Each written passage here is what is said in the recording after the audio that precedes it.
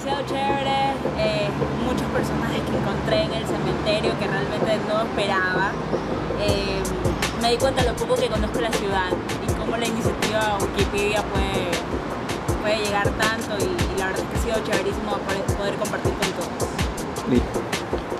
Para mí hay una importancia radical en excursionar eh, los monumentos de la ciudad, y en específico cementerio tan importante como es el, el- el patrimonial de Guayaquil.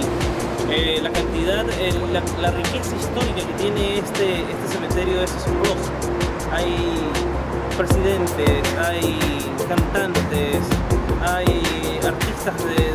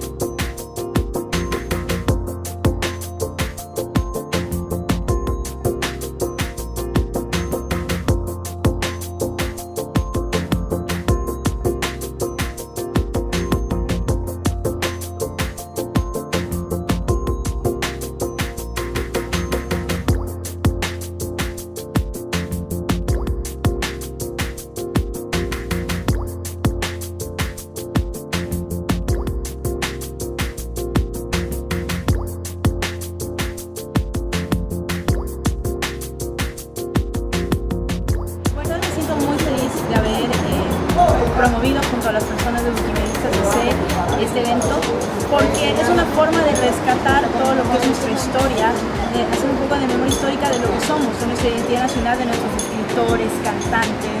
Ha sido fascinante realmente. Uno a veces olvida esos detalles hermosos que tienen nuestras ciudades, llenos de tanta riqueza artística y este, me parece que eventos como este es una oportunidad para hacerlo. Asimismo yo motivo a todas las chicas a, editar, a escribir, a investigar y a enamorarse de, sus ciudades, de la historia que tiene su ciudad. Porque eh, es una experiencia realmente única, maravillosa.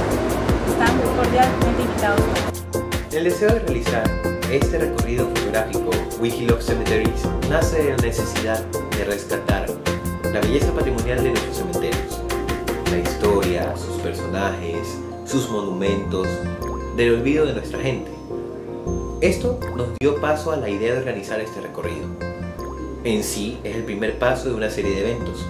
Luego de este realizaremos una editatón sobre la historia de, en este caso, el cementerio patrimonial de Guayaquil.